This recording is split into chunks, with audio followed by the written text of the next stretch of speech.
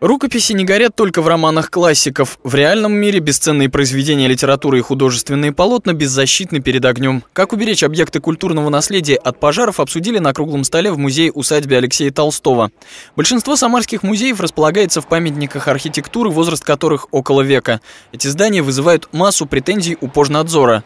До недавних пор денег на ремонт и поддержание учреждений культуры выделялось крайне мало. Сейчас э, в стадии принятия и областная, и городская, в стадии разработки и принятия целевые программы по сохранению объектов культурного наследия. А, программа достаточно большая, а, с серьезным финансированием. И вопросы противопожарной безопасности, они обязательно найдут отражение в этой программе.